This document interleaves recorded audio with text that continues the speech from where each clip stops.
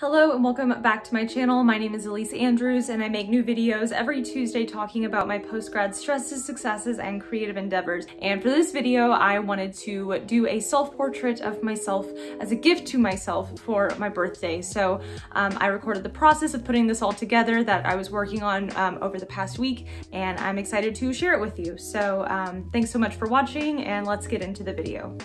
So what I'm doing right now is going into Photoshop and cutting myself out from the image that I took. I kind of took a few reference pictures and I posed holding this stuffed animal that I have that kind of looks somewhat like an armadillo, although it wasn't, you know, quite the right shape. It was nice to have for referencing things. And then I went and looked for images of an armadillo. Um, they're just one of my favorite animals. Kind of my thought process with making this portrait is um, looking back on, I guess, more traditional portraits you would see um, like at a museum or kind of these European things where they're like holding um, animals holding um, objects that like are important to them. I, this is kind of just a hodgepodge of a self-portrait, but anyway, I did the armadillo, photoshopped him in there more or less. Then I also found a little baby alligator because I also, you know, really like alligators. And I thought it would make for a funny and cute little portrait. And I was also looking forward to just drawing an alligator and an armadillo. So right now I'm just kind of very loosely drawing in sort of where, where I want like the tail to be and the rest of the alligator. And now um, I didn't exactly record the initial sketching very much, but I basically did a grid on my paper and I did that also on the printed out image of my drawing that I wanted to do. And that just helped me make sure everything was in the right place. I didn't want to just go in and trace it. I wanted to actually, you know, challenge myself to do the drawing out on, you know, a piece of paper without the, you know, light box. But anyway, um, this was really fun to do and I enjoyed using a grid system because I haven't done that in quite some time. I used to do it a lot more whenever I was in high school. So I think that this turned out pretty good. I think I had to go in later though and fix up the face a little bit using my lightbox because that is something I wanted to look perfect and look like me because that's something I tend to struggle with when I'm making art. I don't spend a ton of time you know, practicing drawing people in the figure, that's not like a priority for me right now, but I really enjoyed um, just this experiment, and this is one of the first self-portraits that I've done that I actually feel very satisfied with, I guess, how I drew my face.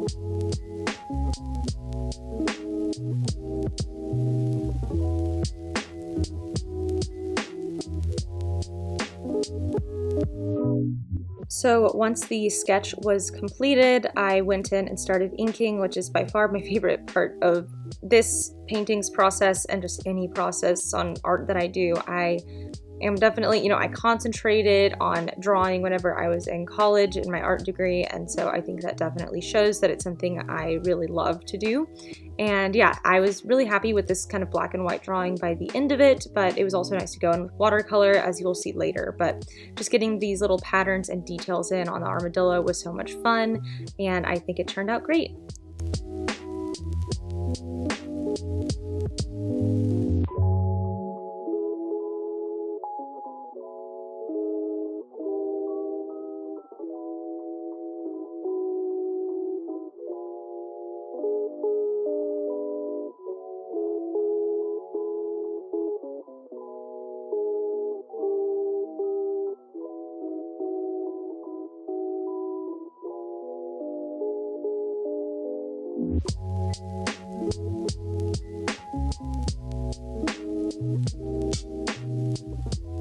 And then at this point, I, you know, I struggle with color a lot. You know, I mostly, like I said, focused on drawing and focused on black and white drawing in my time in college. So most of my experiences with that, but I've been trying to put a lot more energy into learning color more and how to make really good um, flowing color palettes. And so I wanted, before I went in to start painting, I wanted to actually sit down and sort of plan out what I wanted this painting to look like in terms of color. Again, I was just spending this entire day having a ton of fun with, you know, picking out the colors, making sure everything looked perfect. I haven't really spent this long on a piece in quite some time, like maybe since I was in college working on projects. So this was really fun to you know, spend all day just working on this one thing. And I think I even went into working on it on other days as well. It's fun to take your time with things sometimes. But yeah, uh, I wanted to go with, and I mean, I guess I chose a pretty complex color palette. I'm pretty sure it ended up kind of working out. I had a lot of problems with it, but I really do love like cool colors um, and pinks as well. I like my favorite colors, I would say, are like blue, pink, and purple. And so I wanted to incorporate these into the art, but then also like there's the color of the animals. What do I do with that? Anyway, um, so uh, basically this is just, you know, me working on the colors, kind of trying to solve the puzzle.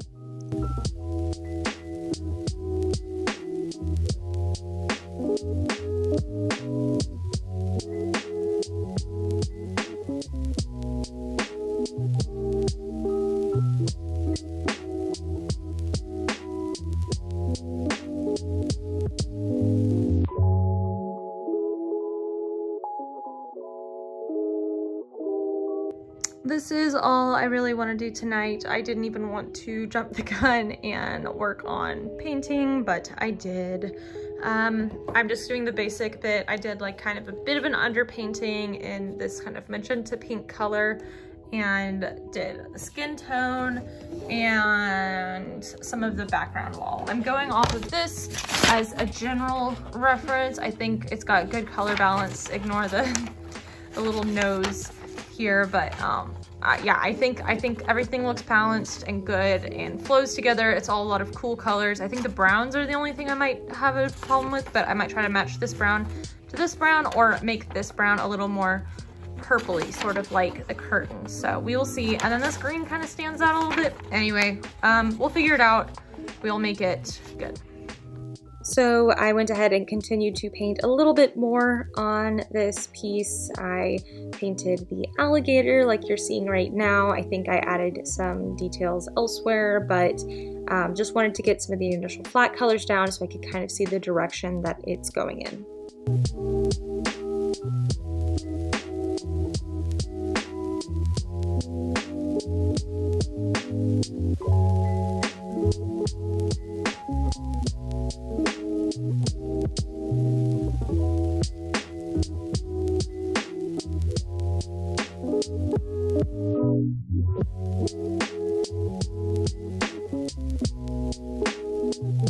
Thank you.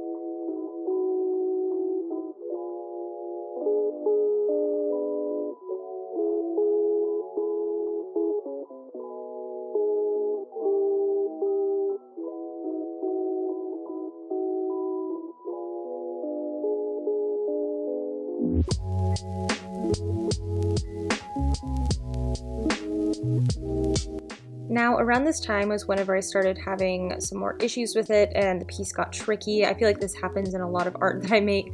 I just kind of run into some problems and I have to make decisions to solve the puzzle. That's kind of how my process works. Um, a lot of that time inv that involves, you know, going over my lines again with a black ink, like Micron pen, and that tends to solve a lot of the problems, but then sometimes I have to just try things out and see if they work, and, you know, watercolor is somewhat forgiving, but also not super forgiving for just like trying things out. And so um, you can see me kind of trying to understand how I want to do the curtains, and you can see me thinking a lot about what my next move is and praying that I do not mess it up.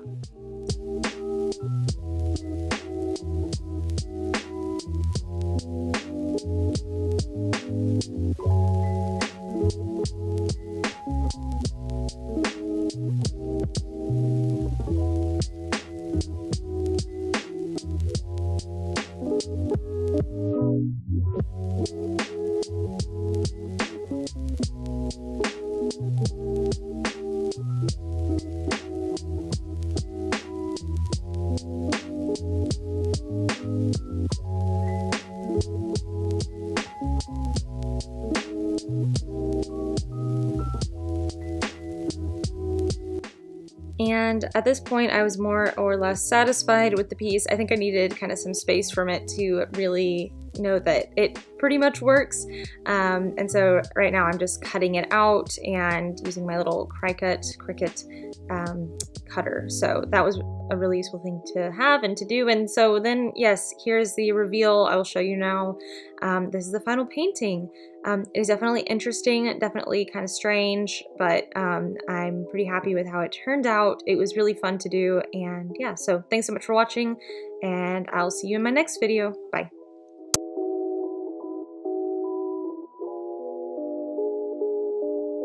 Thank